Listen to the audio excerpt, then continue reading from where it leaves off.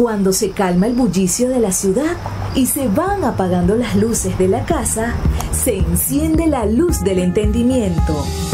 Desde este momento comienza Puerto de Libros, Librería Radiofónica, programa que contiene todos sus elementos tipo A. Puede ser escuchado por niños, niñas y adolescentes sin la supervisión de padres, madres o representantes. Comienza Puerto de Libros, Librería Radiofónica.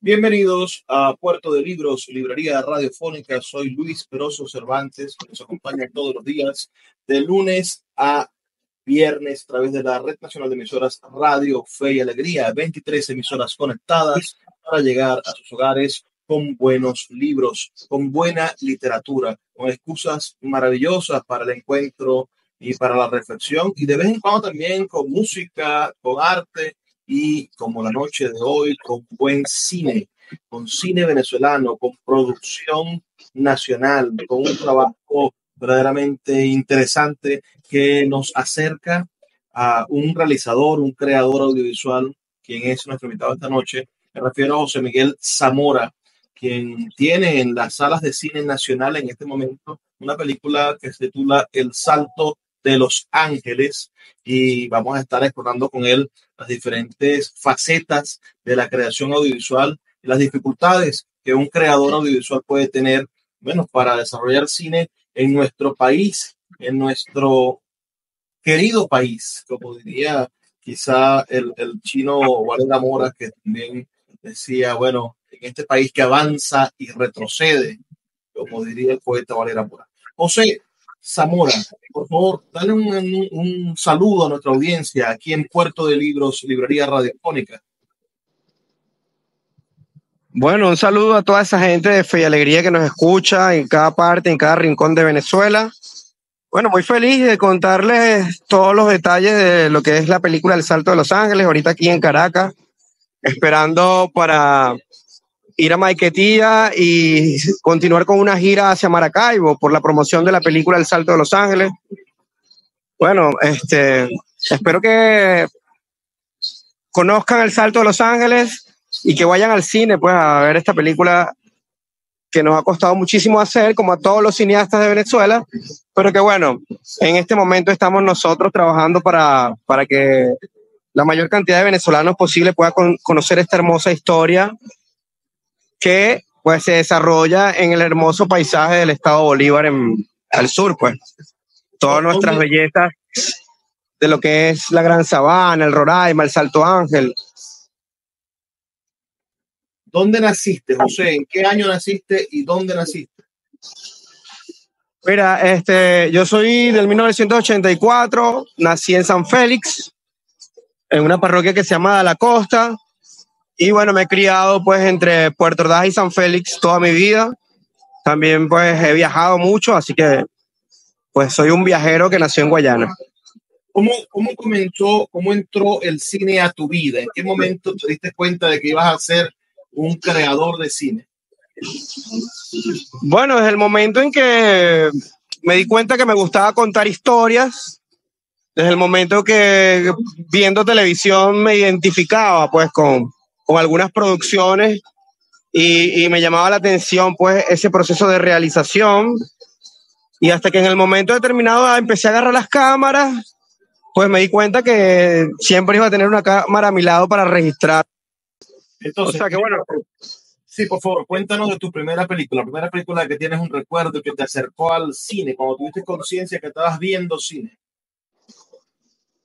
Mira, como te decía, eh, tengo recuerdos de niño viendo, por ejemplo, eh, Karate Kids, eh, Loca Academia de Policía y bueno, las películas de Semana Santa que hablaban sobre la vida de Jesús, por ejemplo. Esas películas me marcaron mucho, bueno, y, y son las que más recuerdo en este momento. Pensemos en la adolescencia cuando uno va creciendo, empieza uno a definir sus gustos. ¿Por dónde, ¿Por dónde iban tus gustos musicales? ¿Por dónde iba tu gusto artístico? ¿Qué fue lo que tú crees que fue decisivo en tu adolescencia para ser cineasta? Mira, eh, en cuanto a la música, el rock, por ejemplo, siempre me llamó la atención, la música bailable. Eh, pero a ver, eh, que recuerdo de, tener así conciencia, puedo hablar más en, cuanto a la escritura, ¿sabes? Cuando empecé a escribir historias a los 13 años, a los 12 años, ya, ya ese, en ese momento, pues hacía pues, eh, obras de teatro para la escuela, eh, concursaba en historias de cuentos y, y, bueno, por ahí fue más o menos cuando fui encontrando ese sentido de querer contar historias, ¿sabes? Cuando empecé a escribir a los 12, 13 años, cuentos, ¿sabes? Imaginarios, historias. Siempre resaltaba en esa área de la escritura, por ejemplo. En el imaginario de contar historias. O sea que todo comenzó con la aspiración de ser escritor. ¿Has seguido escribiendo o en qué momento pasaste del papel a la cámara? Bueno, es que yo creo que tiene mucha relación, porque para poder pasar a la cámara tienes que tener las cosas bien claras eh, y sobre todo en lo escrito. Entonces, em, escribir es como, bueno, una base fundamental para después imaginar hacer películas. Por ejemplo, eh, yo tenía un, había escrito una novela a los 18 años de 75 páginas, lo recuerdo, que se llamaba Ambición de Poder, pero yo sabía que tenía que escribir esta historia y después escribiendo me imaginaba las escenas. Entonces, la escritura va de la mano con el audiovisual. Para mí, en este caso, cuando quieres contar historias y no dejarlas solamente en un libro, sino para llevarlas a la cámara, en cuanto al lenguaje audiovisual. Claro, lo entiendo completamente, porque regularmente no, no asociamos o no, no terminamos de asociar la importancia que tiene el audiovisual, que tiene, que tiene el, la escritura, lo literario, el guion el audiovisual. Cuando vemos la película finalizada, no entendemos que hay 200 páginas de guion escritas para cada una de las escenas. Exactamente. Mira, así es. ¿Y qué estudiaste? Es decir, en esa búsqueda de formarte profesionalmente, ¿qué, qué, qué, estudiaste? Mira, yo estudié, empecé a estudiar comunicación social, pero como he sido siempre muy inquieto, me fui a viajar a Sudamérica por seis meses y nueve meses en realidad, y dejé de estudiar, pero siempre he sido más autodidacta, ¿sabes? Cuando empecé a viajar y a manipular las cámaras, aprendí por mi propia cuenta y después sí fui estudiando con profesores y directores y productores que dictaban talleres de cine y por ahí me fui metiendo en el área audiovisual y he hecho más de 10 talleres de cine con productores internacionales y nacionales ya y, y principalmente he sido autodidacta. Te puedo decir que con todo criterio autodidacta desde hace mucho tiempo, ¿sabes? Eh, pero sí quiero, digamos, hacer la carrera, ¿sabes? No es algo como que no está en mis metas y en mis planes. pero bueno, en mi caso, además de estudiar, no es solamente estudiar en la universidad como tal, porque de igual manera para hacer una película hay que estudiar muchísimo. Yo he creado proyectos, ¿sabes? Para poder hacer esta película. Eh, he estudiado muchísimo buscando alternativas de cómo hacer cine con bajo presupuesto. Entonces, eh, digamos, a trabajar sobre el lenguaje audiovisual, sobre el tipo de plano, sobre la dirección de actores. Yo creo que la herramienta del Internet también lo ayuda mucho a uno cuando realmente uno se aboca a investigar. Entonces yo creo que he sido siempre un investigador y un estudiante de lo que hago, porque nunca uno termina de aprender todo. Entonces es un constante aprendizaje que llevamos para poder lograr objetivos como hacer una película, por ejemplo me parece estupendo. A la vuelta me gustaría que habláramos sobre las escuelas de cine, sobre la falta de escuelas de cine y cómo un joven de San Félix, bueno, empieza a conseguir recursos para generar esto. Vamos a hacer una pequeña pausa de dos minutos para escuchar un mensaje de Radio Fe y Alegría y a la vuelta regresamos con esta interesante entrevista con el joven cineasta venezolano José Miguel Zamora, quien está en este momento en las carteleras de cine de todo el país con una película que recomendamos que vayan a ver que se llama El Salto de Los Ángeles. Es una pequeña pausa y ya volvemos con más de Puerto de Libros, Librería Radiofónica. Escuchas Puerto de Libros con el poeta Luis Peroso Cervantes. Síguenos en Twitter e Instagram como arroba Librería Radio.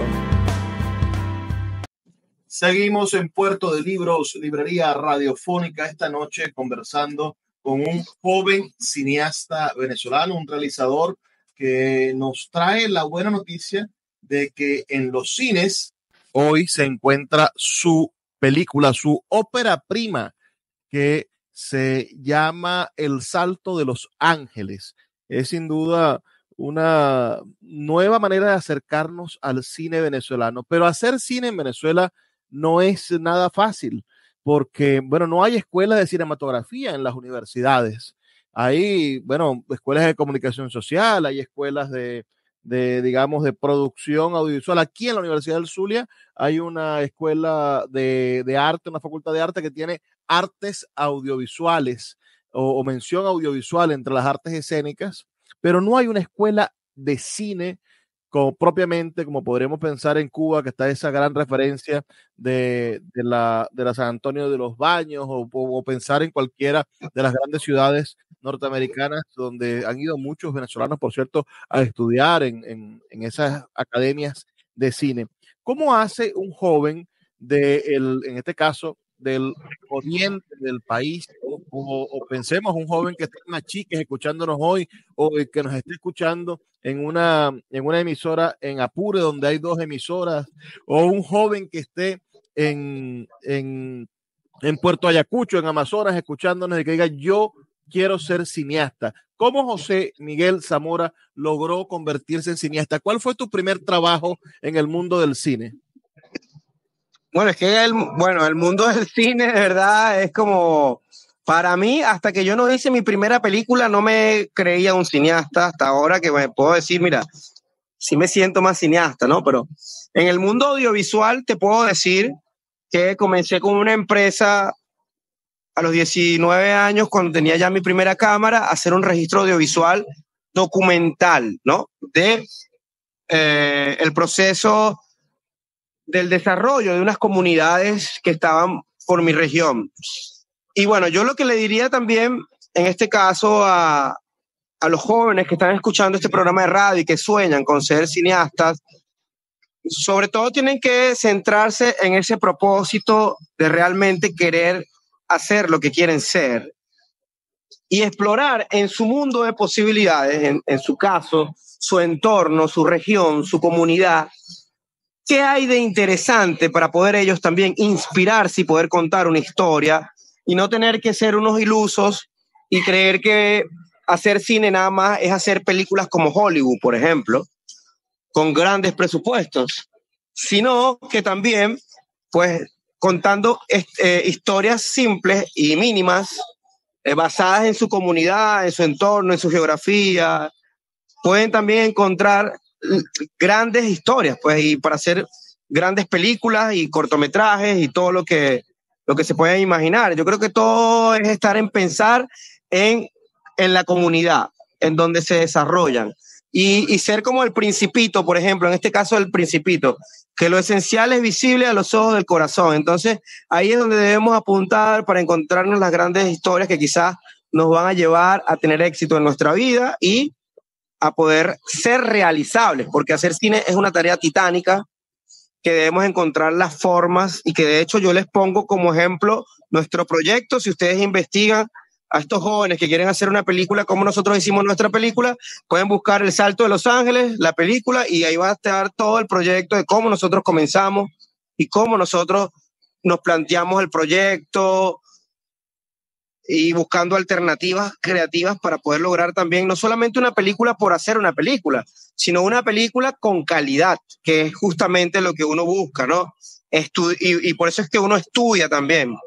No directamente en una universidad, pero uno tiene que estudiar siempre para cuidar los aspectos técnicos, porque la, la idea principal que debemos tener es que cuando vamos a dedicar tanto tiempo para escribir para, para después grabar, para involucrar tantas personas, no hacer una historia con una calidad técnica que después cuando la vean otras personas no sea valorada o valorable. Entonces, de todas maneras, todo es un proceso de aprendizaje y todos, pues, comenzamos de una manera y, no tampoco hay que sentirse mal porque de repente hacemos algunas historias o algunas películas que quizás no le gusta a la gente, pero eso es parte también de la práctica. Y a medida que más hagamos, más vamos a encontrar la perfección.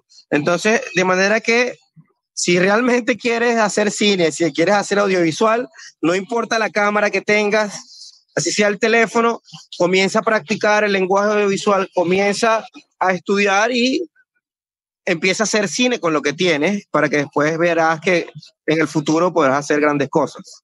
Ah, mira, yo siento que Venezuela tiene una gran escuela de audiovisual en, el mundo de las novelas, en el mundo de la producción de, de, contenidos actualmente, pero hay, hay una gran escuela que se da en Caracas, pero fuera de Caracas es difícil aprender a hacer cine. Pero con lo que tú me estás diciendo, háblame un poco de ese camino tuyo de aprendizaje. Hiciste cortometrajes, trabajaste con algún cineasta. Sí. Háblanos un poco de, de, de, eso, de ese trabajo previo antes de llegar por fin a tu primera película. Bueno, uno, que, uno primero que nada tiene que tener mucha curiosidad para querer contar las historias, ¿sabes? Como mucho interés. Y hice muchos cortometrajes, quizás más de 10 cortometrajes he hecho más de 10 documentales. Entonces, eh, digamos, uno cada vez que hace el primer, cuando uno hace el primero, uno va aprendiendo para hacer el segundo y cada vez vas aprendiendo para hacer el tercero y el cuarto. Yo estudié en la Escuela Nacional de Cine San Antonio de los Baños, la Escuela Internacional. Estuve 40 días en un taller práctico de realización audiovisual, el cual disfruté mucho y aprendí mucho me siento muy feliz por esa experiencia que tuve, pero ahí también uno, eh, uno se, debe exigir que si quieres estudiar, pues no, porque para mí me parece importante, ¿no? Eh, dedicar el tiempo a la universidad o al estudio, pero también no solamente a lo teórico, sino también a lo práctico. Entonces tiene que ir de la mano. Entonces, yo siempre hice talleres de cine, como te decía, y siempre de igual manera estudiaba y ponía en práctica con la cámara eh, historias que escribía o historias que le grababa a amigos que estudiaban en la universidad y necesitaban un camarógrafo o alguien que tuviera más experiencia que ellos y yo, bueno, siempre estaba ahí por delante, ¿no? Un poco, porque compañeros que, que, tuve en principio y que después se graduaron, se graduaron, después me, me contrataban para yo hacerles el trabajo audiovisual de fin de grado, para hacerles el guion, digamos, con una contratación así como para colaborar con ellos. Porque yo me iba más a la práctica y, a la, y, a, y, al descubrimiento, ¿sabes? Y a la curiosidad. Entonces creo que hay que tener mucha curiosidad con lo que uno quiere aprender y escarbar hasta el final para poder lograr los objetivos, sea lo que sea que quieras hacer. Mira, ahí, ahí me, me atrapaste con que has hecho documentales. Háblame un poco de la diferencia en materia cinematográfica de hacer documentales y de hacer ficción. ¿Cuál, cuál es tu favorita y cómo crees tú que, que el director debe de, de, ajustar el ojo si hace ambas cosas? ¿Cómo hace para no mezclarlo? Yo pienso que son cosas totalmente diferentes. O sea, tú puedes mezclarlo y lo puedes mezclar con intención. O sea, tú de repente lo vas a hacer mezclas la docuficción. Pero en el caso del documental, pues eh, depende del estilo, es el registro, ¿no? Histórico, documentado, de, además de, de, de acciones, de situaciones, de ciudades, de lugares, de paisajes, o sea, y de una forma diferente a la ficción porque no necesitas este, tener personajes ficcionados, ¿no? Eh, eh, digamos, si vemos a unas personas que les gusta jugar ajedrez en una plaza, yo solamente lo que tengo que hacer es documentar su estilo de vida, dónde viven, cómo hacen, por qué frecuentan ese lugar, puedo hacer entrevistas, conversar con ellos. En cambio, una ficción, para hacer una ficción con estos personajes que son los que juegan ajedrez o dominó, bueno, tengo que buscarme, ¿no? Hacer un casting y, y, darles un papel a estos personajes y yo recrear con mi imaginario eso que, que, quiero lograr. En cambio, con el documental ya está, ya ellos son los personajes tal cual como la vida, la vida los tiene allí. Entonces, eh, en el caso del documental, pues simplemente, como lo dice la palabra, uno documenta eh, basado en la historia o en los contextos de, la cotidianidad, de la actualidad. Tiene otro, otro estilo narrativo, inclusive, porque eh, en un documental tú, tú, puedes aparecer como director, tú puedes, se puede escuchar tu voz haciendo la entrevista. En cambio, la ficción es tratar de recrear la realidad tal cual como es. Y mucho más, ¿no? Porque lo imaginario, ¿no? Digamos, el tema de, de, la ficción eh, ya en otro sentido, con, con efectos especiales, personajes eh, irreales. Así que bueno, la ficción te da para mucho, ¿no? Pero bueno, el documental es más simple y entre uno y otro, mira, a mí me encantan los dos porque puedo descubrir cosas totalmente diferentes, pero puedo decirte que sí tengo una preferencia por la ficción. Así que bueno, por ejemplo, en ese caso, igual me encanta documentar, ¿sabes? Me encanta hacer documental vamos a hacer otra pausa, José Miguel. Estamos hablando, los que nos escuchan a través de Radio Fe y Alegría y los que nos ven a través del canal de YouTube, estamos hablando con José Miguel Zamora. Él es el director de una película reciente, una película que está en este momento en las carteleras del cine venezolano, El Salto de los Ángeles. Esa es su segunda semana en cartelera y ya ha acumulado más de 4.600 espectadores. A la vuelta vamos a... 5 mil, ya subimos, ya, hoy. Ya tenemos 5 mil, qué maravilla. 5.600. Entonces, vamos a hablar cómo se construyó esa película, cómo nació la historia, quién te ayudó a escribirla, de qué manera, de todo esto vamos a desenmarañarnos, vamos a intentar desarmar un poco el salto de los ángeles a la vuelta en el siguiente segmento aquí en Puerto de Libros, Librería Radiofónica. Son dos minutos, no se separen, ya volvemos. Escuchas Puerto de Libros con el poeta Luis Peroso Cervantes. Síguenos en Twitter e Instagram como arroba Librería Radio. Seguimos en Puerto de Libros, librería radiofónica esta noche compartiendo con un interesantísimo productor audiovisual, director de cine, José Miguel Zamora, quien estrena en Venezuela, en las, en las diferentes salas de cine del país, se encuentra esta hermosa película El Salto de los Ángeles, su ópera prima, su primer largometraje, aunque ha trabajado, bueno, en documentales, en cortometrajes de ficción, ha gastado bastante papel escribiendo guiones y tiene, bueno, una productora. Este, esta película llega a nosotros por la productora La Chispa Film. Ya nos vas a contar quién es esta empresa, si es tuya, si la, si la fundaste o si te contrataron.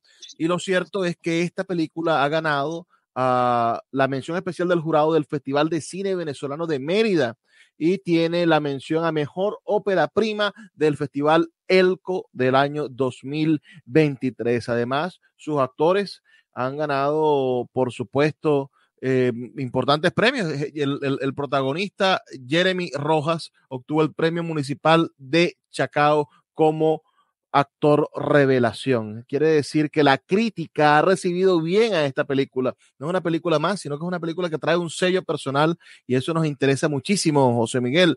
Háblanos entonces de cómo nació la película, háblanos del primero, de cuándo empezaste a esbozar el guion, dónde nació la idea. Si quieres nos cuentas de qué trata.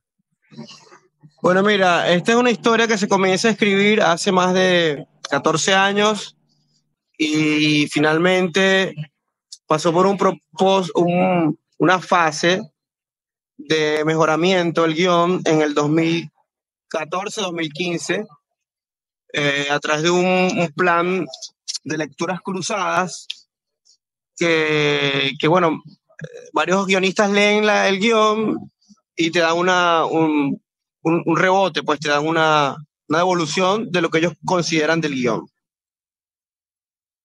Claro, ahora cuéntanos un poco de qué trata la historia. y después de ahí se, eh, se, mejoró con un tutor que contraté para poder hacer la película.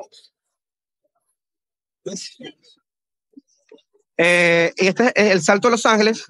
Es la historia de un niño de 12 años que queda a cargo de su familia mientras su padre se va a trabajar en las minas. Eh, y es una película de un niño, pues, que termina convirtiéndose en héroe para ir en busca de su padre y enfrentar a diversos desafíos, pero que a su vez muestra hermosos paisajes y todo un potencial geográfico que tenemos en la región guayana, en el estado de Bolívar. Eh, me decías, ¿no? Que eh, esta historia del guion, ¿no? Bueno, yo soy el guionista, también soy el productor, el director de fotografía y el director de actores.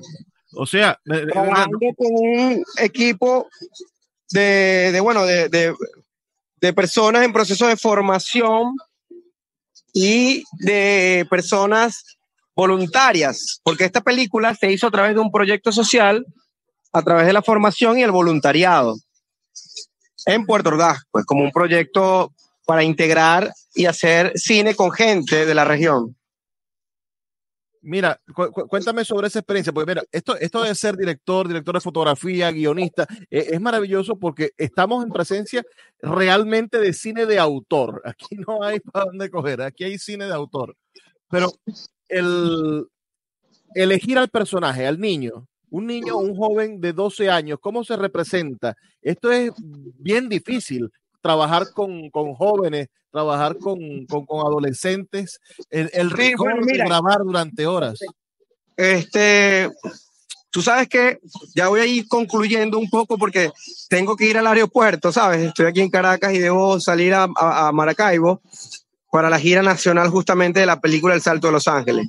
Eh, fíjate, nosotros hicimos un proyecto social para involucrar a la comunidad donde se inspiró la, la historia El Salto de Los Ángeles, que además está inspirada en unos chamos que suelen saltar del puente Caroní, desde un puente muy alto, hacia el río, ¿no? Para, por diversión. O sea, un contexto social que hay en Ciudad Guayana de chamos que viven por una comunidad que tienen cerca ese puente y por diversión siempre están yendo ahí a ese puente cuando está el río muy alto, cuando es la creciente del río. Comúnmente los vemos ahí.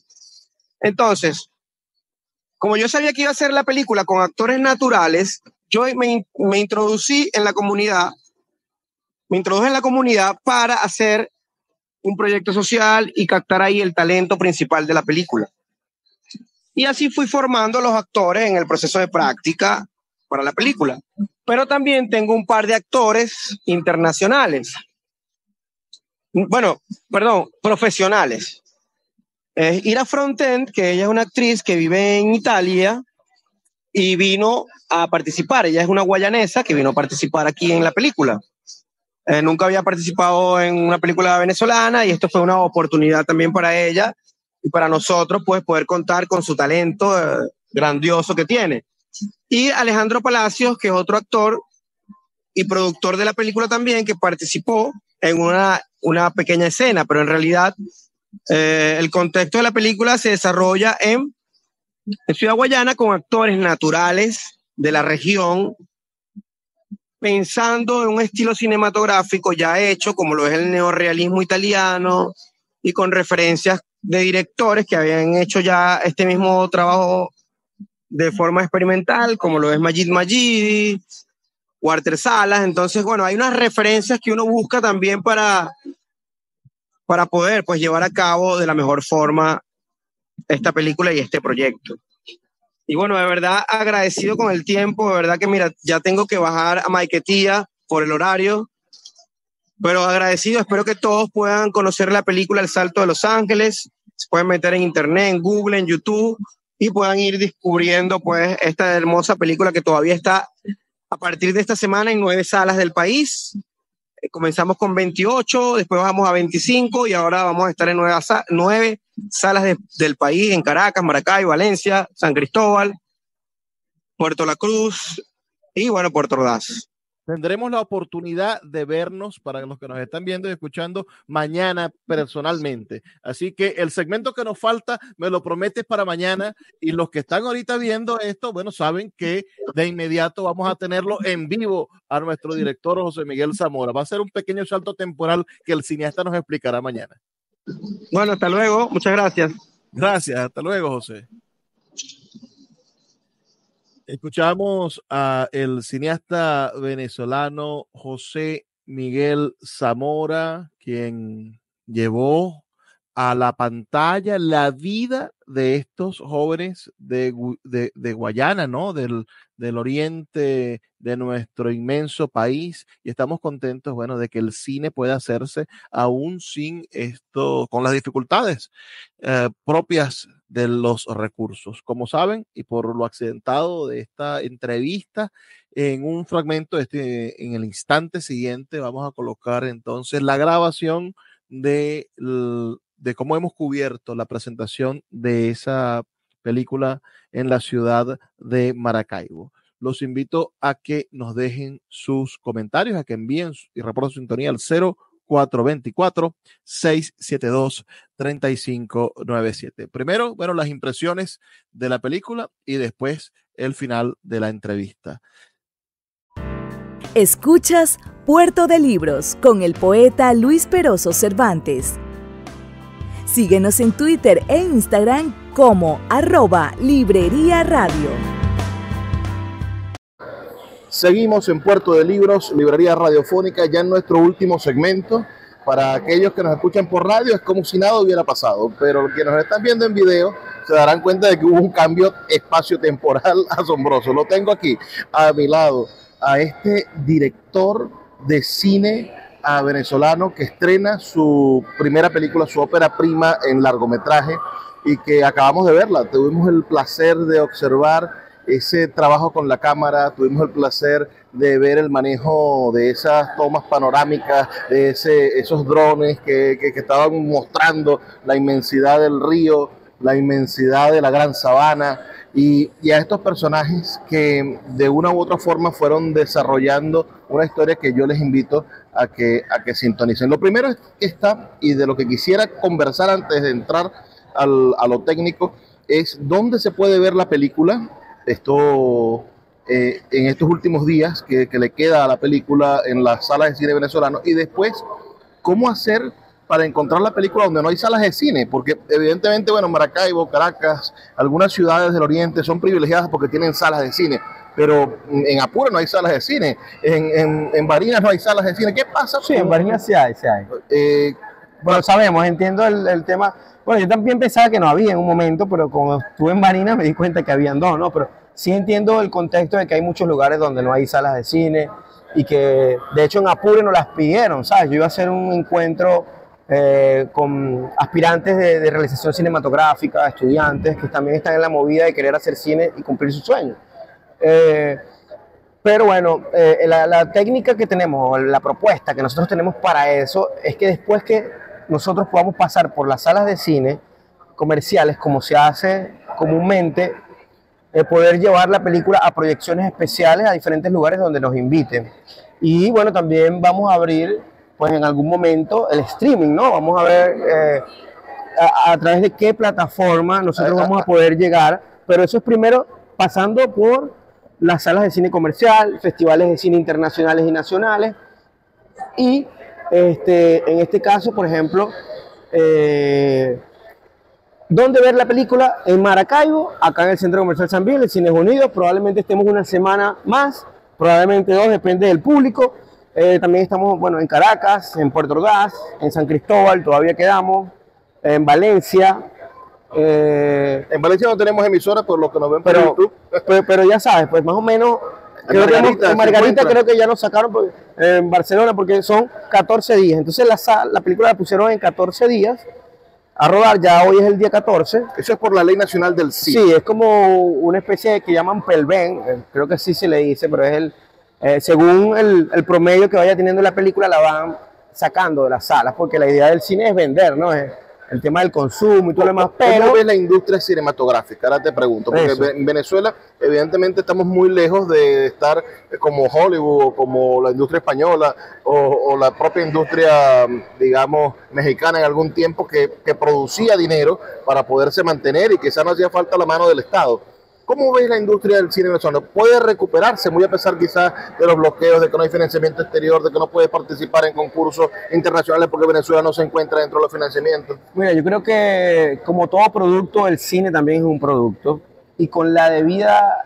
eh, investigación y estudio de mercadeo para poder lograr que el público venezolano se reencuentre con el cine hecho acá en, nuestra, en nuestro país, pues debe invertirse dinero, debe, porque si hay dinero para, para sustentar estas cadenas de cine, yo creo que debe haber dinero para invertir en la promoción, en campañas educativas, de promoción, de concientización, eh, hay, eh, hay, políticos que no piensan eso. Pensemos en el sur ahorita. Javier Milei está acabando con los financiamientos al arte, al cine, a la educación. Claro, nuestro país tiene otra realidad. Sin embargo, bueno, yo creo que justamente aplicando esas políticas sociales debería de haber más participación eh, para los cineastas venezolanos.